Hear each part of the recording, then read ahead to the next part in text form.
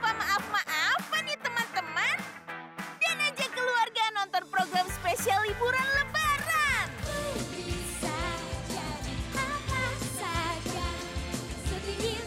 Tonton semuanya. Rabu 5 Juni.